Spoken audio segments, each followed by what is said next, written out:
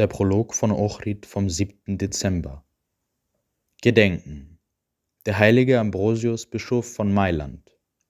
Dieser große heilige Vater der orthodoxen Kirche stammte aus einem bedeutenden Geschlecht. Sein Vater war der kaiserliche Abgeordnete in Gallien und Spanien und von Geburt Heide, doch seine Mutter war Christin. Als er noch in der Wiege lag, ließ sich ein Bienenschwarm auf ihm nieder träufelte Honig auf seine Lippen und flog wieder fort. Im kindlichen Spiel streckte er seine Hand aus und sagte prophetisch, Küsse sie, denn ich werde ein Bischof sein. Nach dem Tod seines Vaters ernannte ihn der Kaiser zu seinem Repräsentanten in der Provinz Ligurien, dessen Hauptstadt Mailand war. Als der Bischof von Mailand starb, brach in der Frage der Wahl des neuen Bischofs zwischen den orthodoxen Christen und den arianischen Heretikern ein großer Disput aus. Ambrosius betrat die Kirche, um für die Aufrechterhaltung der Ordnung zu sorgen, denn dies war seine Pflicht. In diesem Augenblick rief ein Kind an der Brust seiner Mutter, Ambrosius soll Bischof sein. Alle sahen dies als Stimme Gottes an und wählten Ambrosius gegen seinen Willen einstimmig zu ihrem Bischof.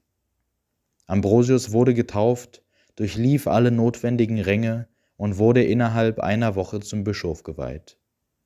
Als Bischof stärkte Ambrosius den orthodoxen Glauben, wies die Heretiker zurück, schmückte Kirchen, verbreitete den Glauben unter den Heiden, schrieb viele lehrreiche Bücher und diente als Vorbild eines wahren christlichen Hirten.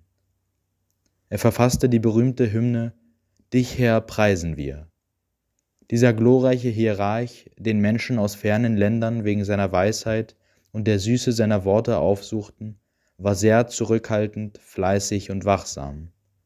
Er schlief sehr wenig, arbeitete und betete ständig und fastete jeden Tag außer Samstag und Sonntag. Dafür gewährte ihm Gott, Zeuge vieler seiner Wunder zu sein und selbst Wunder zu vollbringen. Er entdeckte die Reliquien der heiligen Märtyrer Protasius, Gervasius, Nazarius und Celsus, gedenken am 14. Oktober. Sanftmütig gegenüber den Kleinen war er furchtlos gegenüber den Großen. Er rügte Kaiserin Justina als Heretikerin, verfluchte Maximus den Tyrannen und Mörder und verbot Kaiser Theodosius die Kirche zu betreten, solange er nicht seine Sünde bereut hatte. Er weigerte sich auch, den tyrannischen und selbsternannten Kaiser Eugenius zu treffen. Gott gewährte diesem Mann, der ihm so wohlgefällig war, solche Gnade, dass er sogar die Toten auferweckte, den Menschen Dämonen austrieb, die Kranken von jeglicher Krankheit heilte und die Zukunft voraussah. Ambrosius starb in Frieden am Morgen des Pascha im Jahr 397. Der gottgeweihte Gregor der Hesikast war ein gebürtiger Serbe. Er war der Gründer des Klosters des heiligen Nikolaus auf dem heiligen Berg, das nach ihm Gregorio benannt wird. Seine Zelle, in der er in der Stille betete und sich der Askese widmete, kann man in einer Viertelstunde Entfernung vom Kloster finden. Im Jahr 1791 brach im Kloster ein großes Feuer aus und in diesem Zusammenhang wurden seine Reliquien von einigen Mönchen nach Serbien überführt. Dieser Mann Gottes entschlief in Frieden im Jahr 1406. Der gottgeweihte Nil von Stolbensk war ein Bauer, geboren in Nowgorod. Er zog sich in die Wildnis zurück und ernährte sich nur von Pflanzen. Auf Anweisung einer Stimme aus der Höhe ließ er sich auf der Stolbensk-Insel nieder. Einmal kamen Räuber in seine Zelle, in der Absicht, sie zu plündern, und erblindeten auf der Stelle. Er grub sich in der Nähe seiner Zelle ein Grab und weinte darüber jeden Tag. Nilos entschlief in Frieden und nahm seine Wohnstatt im Reich Christi im Jahr 1554 ein. Seine wundertätigen Reliquien ruhen am Ort seines Fastens. Lobeshymne der heilige Ambrosius, Bischof von Mailand. Ambrosius, spät im Leben bekehrt, Ambrosius bald darauf geweiht. Eine Säule der Wahrheit, ein Licht der Frömmigkeit, ein Soldat Christi, Verfolger der Gottlosigkeit, göttlich diente er der Kirche Gottes, und die Kirche vergalt ihrem Hirten, mit Hymnen und mit Liebe verherrlicht sie ihn. Die Kirche verherrlicht ihn als Vater, als einen Hirten, als Wundertäter, und als weisen Mann, Salomo gleich, anerkennt ihn die ganze Welt, die sichtbare wie die unsichtbare, und dem lebendigen Gott bringt er Lob dar. Dich, o oh Gott, verherrlichen auch wir, und vor deiner Kraft verbeugen wir uns, vor deiner Macht und deiner Barmherzigkeit, der ewigen Gerechtigkeit und wundervollen Weisheit. In größter Schönheit leuchtet deine Herrlichkeit durch Ambrosius, deinen wundervollen Heiligen. O wie gnädig bist du, o Gott, o wie wundervoll bist du in deinen Heiligen. Betrachtung Gott vergilt ein hundertfaches dessen, was ihm durch die Armen geliehen wird. Es gab einmal eine christliche Frau, die mit einem Heiden verheiratet war, und sie lebten in Liebe und Armut zusammen. Als der Mann fünfzig Silberstücke angespart hatte, sagte er zu seiner Frau, dass sie das Geld auf Zins verleihen sollten, denn sonst würden sie ihre Ersparnisse Münze für Münze verplempern, und es bliebe ihnen nichts übrig. Seine Frau erwiderte, wenn du das Geld verleihen willst, verleihe es an den Gott der Christen. Und wo ist der Gott der Christen? fragte er.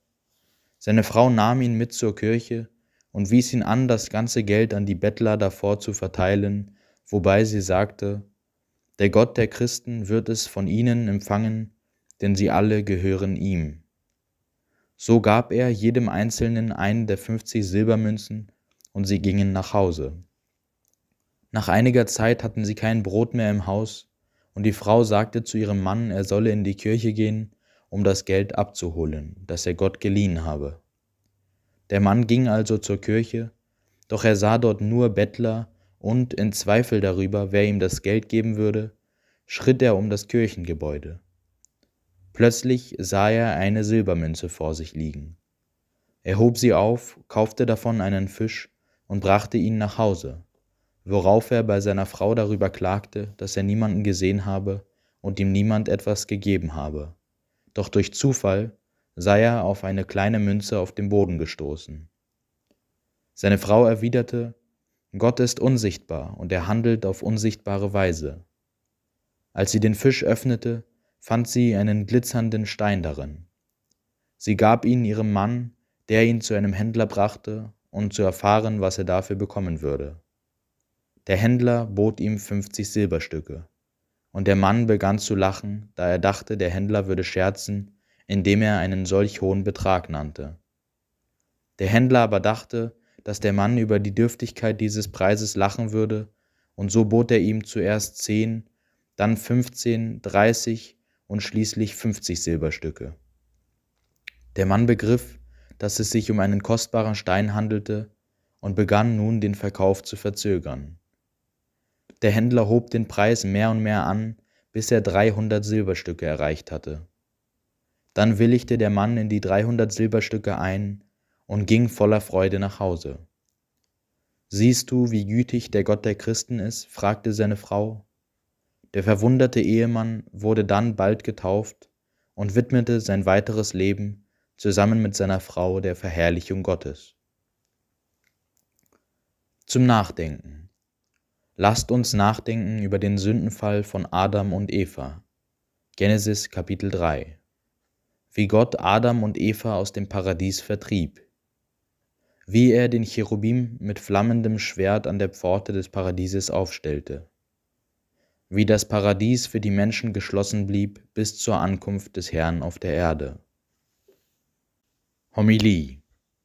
Darüber, dass alles von Gott geschaffene sehr gut ist. Gott sah alles an, was er gemacht hatte, und siehe, es war sehr gut. Genesis 1, Vers 31. Wenn alle Teile des Gebäudes gut sind, meine Brüder, dann ist das ganze Gebäude gut. Jeder einzelne Ziegel ist gut und jeder Stein, der Mörtel und Lehm, die Balken und Säulen. Doch es ist der Anblick des ganzen Hauses, das den Menschen zum Staunen bringt. Die Einzelheiten des Gebäudes können ihm unerklärlich und in mancherlei Hinsicht unpassend erscheinen. Doch solche Gedanken geraten in dem Augenblick in Vergessenheit, in dem er seinen Blick auf das Ganze wirft. Es gibt tatsächlich in dieser Welt viele kleine Dinge, die uns für sich genommen unerklärbar und ungeeignet erscheinen. Doch sobald wir die Sache in ihrem ganzen Umfang erforschen, verstehen wir und sind beruhigt. Wir halten viele der Leiden und Verluste in unserem Leben für wahrhaft erschreckend und sinnlos, in dem Augenblick, in dem sie uns widerfahren. Doch wenn die Tage und Jahre vergehen, beginnen diese Leiden und Verluste in unserem Gedächtnis wie kostbare Steine zu leuchten und erhellen dann den weiteren Verlauf unseres Lebens. Sollte euch daher in der Welt irgendetwas von Gott geschaffenes Ärgernis bereiten, betrachtet das Ganze. Sollte euch irgendetwas im Leben Bitterkeit verursachen, wartet geduldig, mit Glauben und Hoffnung auf neue Tage und Jahre. Wenn euch das ganze Leben als Leid und Kummer erscheint, dann erhebt eure geistigen Augen zur anderen Welt, und ihr werdet Frieden und Freude finden.